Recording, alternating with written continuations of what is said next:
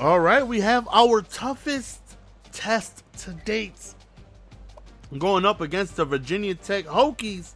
And you take a look at that, that defense is screaming 95, so much better than ours. And they have only given up three points a game, leading the nation in defense. And I'm like, oh my God. I'm a little nervous. I'm not going to lie. Not to lie. Uh, and it just so happens that our QB, our main QB, our guy, Jack Goff, is going, look at this, man. They got 93, 93, 92 overalls. And I'm over here with an 80. And Jack Goff is my 82, but he's hurt. And uh, Harambe Bintu is just a beast. So I'm a little nervous heading on into this game. Uh, even though they're not ranked, they're still one of the top teams in the nation. And this right here would solidify what I would like to think a bowl game for us. You know, we went ahead and we beat uh, number 24 Northern Illinois. Uh, then we beat, I think, ECU, and then we beat Ohio um, Bobcats. And this right here is a real true test. A real, you see, they're 10th in passing offense, 15th in rush offense, uh, and I'm just a little nervous. Little, little nervous, man. So hopefully we can somehow find success. Not really sure exactly how it's going to be going up against a top tier team like this. You know, um, number 24 Northern Illinois, they were a little tough, but their overall was like 78. It wasn't. This team is like 93 offense, 90 no, what was it 91 offense, 95 defense, and I'm just oh my goodness, that is not what I signed up for. So hopefully we can continue the win streak. After this, we actually have a bye, so we can go ahead and get some much needed time off. So we go on ahead and start off with the ball, and let's see what we can do on defense. Now, what was tough is that the uh, the uh, arena, the stadium was so loud that you couldn't see your hot routes unless you made like a handful of big plays back to back to back consecutively. It would just be a whole bunch of lines squiggling. So like I couldn't see my routes. Oh, we had X open. We just throw it away and we got hit right before. Uh, and uh, Cooper had a very good game last game.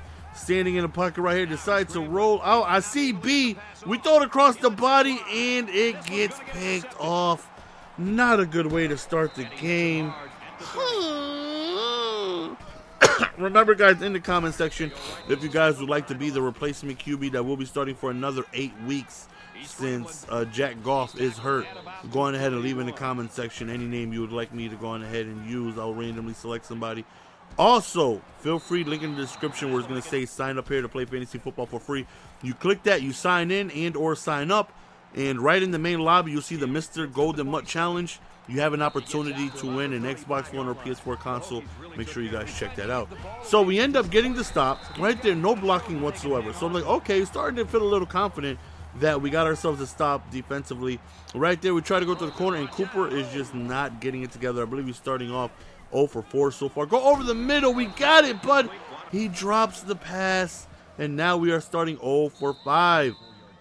You know, a team that's averaging 37 points a game, really looking shaky right here. And Raven Wolf drops the interception. That would have been a major key. So we end up stopping their, their uh, second down play. So big third and 10. Let's see if we can force another turnover on downs. They go for the screenplay, and we are there to go ahead and stop that. So uh, here we go with another one. Another opportunity to see if we can put some points on the board. Now, we had success running the ball. Cooper hasn't thrown an incomplete pass yet. We're struggling. We're, we're struggling badly. We got to get something going against this defense. So we start off with the run to the left side, get a good gain of nine yards. Uh, Malloy coming through for us with a big gain right here. And I had wide, but just throw it out of bounds, man. Lift up another down. Third and one, we're just going to run the ball and barely, by the skin of our teeth, pick up the much needed first down. You can see our boy Marcos is extremely excited. So, right here, another pass. Can we complete one over the middle and dots? Right there, Cooper gets his first completion of the game to Sweetie Cheeks. Standing in the pocket, looks like he's in the rhythm to Sweetie Cheeks. Cuts towards the pylon and he hurdles into the end zone. One time for you, boy. And the crowd silences his way down as I, for whatever reason, grab his butt cheek. Hey, they call him Sweetie Cheeks for a reason. as we go up seven to zero. That right there was a very, very, very big, big score. Getting our momentum on offense, and not and not to mention our defense is playing really good. We went ahead. We haven't even allowed a first down yet, and that's where I figured I was going to struggle more. You know, on the defensive side of the ball. so right there was a big stop. Here we go with uh he decides to take off and Williams is so fast. So fast. Not only is he fast, he falls forward for two extra yards. So 32 right here, he decides to hit us with the triple option, and he gets several yards passing midfield, getting into plus territory, and he takes off once again. He's just, he's fast. At this point, it's like, okay, we got to QB spy. We got to QB spy the guy. He's just taking off, and it's, it's very frustrating. Right there, horribly missed tackle as he gets tackled within the 20-yard line. Another speed option, and I manually go for the quarterback. Probably wasn't the best idea, but I had to choose one or the other. As Anthony Williams goes on ahead and gets in the end zone and ties up the game. So that was terrible defense by us. We had him on the ropes third down a few times, but they end up converting. And the speed option, triple option, read options are absolutely killing us. We got to go on ahead and find some type of answer for that. So right here, back on offense we go. Harambe leading the way as we go on ahead and pick up nine yards to the left. And once we do that, it's like, you know, let's attack the left again. And we get another huge gain right there as Malloy gets a 22-yard gain right here. Cooper decides to roll out, throws on a run, and we get the completed pass to Barunda. Very big reception right there, getting us in field goal range. And then back to the run, but this time they actually bottle us up. Second and 12 right here. We need a big play. We're looking, go towards the left side, and we do pick up the first down with Ryan Kim, who's actually having a pretty good year. We go to the wide receiver screen. Brenda breaks the tackle, and he good, good. Uh, the hurdle is way in the end zone as we end up taking the lead as Barunda comes through as Cooper throws his second touchdown of the game. Quick little wide receiver screen right there, sheds the tackle, and they were closing in on me, so we got to go on ahead and hurdle just in case he had a diving effort as we go on ahead and take the lead once again.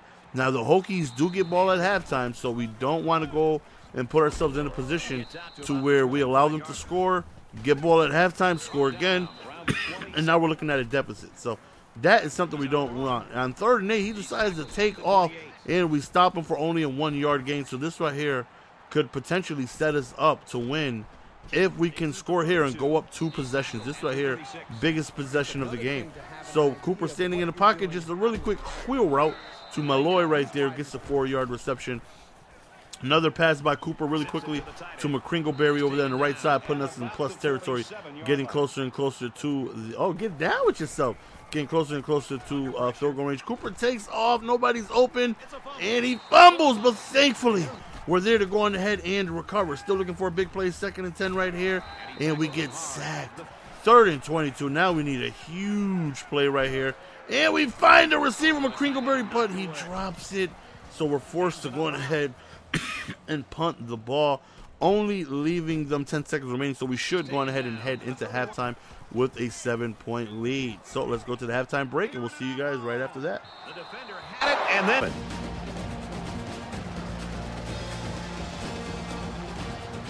That exciting. David Pollack and I here in the studio to break down everything that just happened in your game. This game's been everything we anticipated it being. Each team matching each other blow for blow. Just a one possession game at this point. What do you expect to change things in the second half? Well, it's always it's always fun to watch two teams and two games match up the hype. And we, we about it all week and how big this game is. And it's going to come down to players making plays. And you know, the, the big play is something that we continue to beat into the ground, and which one doesn't give that up? A lot of times, you know, games are lost and won by turnovers and giving it away and making that crucial mistake. And he got all. So, as you can see, we've held them to only 23 passing yards, and our defense is playing fantastic. Only allowing seven points, only allowing just a few hand uh, first downs. So, defense is playing really good. Really struggling on the run here, only 50 rushing yards and uh, on so far on the year, we're having really good success on the on the year with Malloy averaging about 118, 120 yards a game. And so far as a team, we only have 50. So hopefully we can go on ahead and again with the options as Williams takes off, and hopefully we can go ahead and have more success on the ground. Another option right here where Williams and each and every single read option is just gashing us for several yards at a time. So second and seven right here. Again, he takes off, and just when our defense is playing perfect, everybody is attended for and covered. He just takes off, and Williams, thankfully, for whatever reason, decides to go like a, a, a small dip, and, and he just takes off again. He's just taking off at will. Third and six right here. They decide to hand the ball off. Uh, really trusting their defense you know, playing extremely conservative right there. We get the stop. We hold them to a field goal, so hopefully we can go on ahead and uh, go on ahead and go on ahead and get at least a field goal here to uh, preserve this seven-point lead that we had going into the half.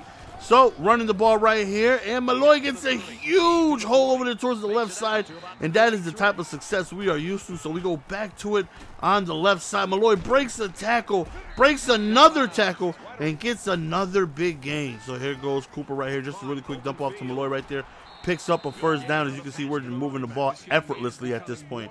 So right here, third down, uh, no, third quarter, excuse me, with a little over a minute remaining. Look at the dot towards the back of the end zone as Cooper throws another touchdown, his third on the day, finding Barunda once again. Clearly, you see they have a chemistry with one another, and this guy Cooper is finding Barunda in the end zone for the third time. What an absolute huge score. So now, up 21 to 10, one more stop could potentially end this game. So another read option. We kind of stopped it right there somewhat. Only gave up two yards. And so just a quick handoff right. You see me manually get pancaked right there. Another inside handoff right here. So here we go. Fourth quarter is after this play. After Williams hands it off to Williams. And no matter what Williams had the ball, they were all fast as almighty hell. Another run play, which we'll take that as long as it's not a huge, huge gain. That's just keeping the clock rolling, and that's what we want. As he ends up throwing an interception to Pappy. Look at Pappy with the INT. Such a huge play. We went for the inverted veer, and I don't know what the hell I'm doing on that read right there. So, uh, next play, we go to the toss left side, and we can't get anything going. So, right here will be a great first down to be able to get to keep the clock rolling. A little play action right here. We're looking, we're looking. We get the pass off, and we throw a dart right over the middle of the field again. Cooper looking for Barunda. Whenever he's in a jam, he's looking Eric's way, and he is absolutely capitalizing on all of these targets as we go back to Malloy right there. Sets us up for third and three. His clock is tick, tick, tick, tick, tick, tick, tick, tick, ticking away. And right here, little play action. Cooper takes off and breaks the tackle. And then I'm trying to slide, and it wouldn't let me. I'm trying to slide. It wouldn't let me, so I slide behind, behind the line of scrimmage, fourth and inches. And Coach GS says we're going to go for it. We're going to chew up more clock as possible. we're not going to settle for the three. We want those timeouts. So right here, we end up trying a quick end around with Sweetie Cheeks with his first uh, rushing attempt of the year. So they are now out of timeouts. Just a quick handoff as Malloy stumbles into the end zone for yet another Marshall score, up 28 to 10 at this point. And defense has been looking extremely sharp. Started out very shaky on the offense side of the ball, but Cooper eventually got it together, striking pass after pass after pass to Barunda, and them two had themselves an amazing, amazing game. As Williams just chucks it up wide open over there on the left side, he ends up finding a receiver, excuse me, for a 33-yard gain. Throws to the flats right there, but we are there to bottle that up. Again, they have no timeouts remaining, so pretty much going to need a miracle at this point for them to try and come back and win. They're gonna have to score, get an onside kick, score, get an onside kick, score, and a lot of lot of onsides and scoring.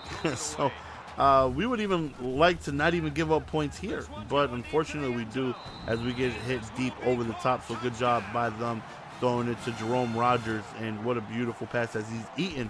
But unfortunately for them, there's only 36 seconds remaining, so they're going illegal touching right there. They're going to need to recover this onside, which they thankfully do not.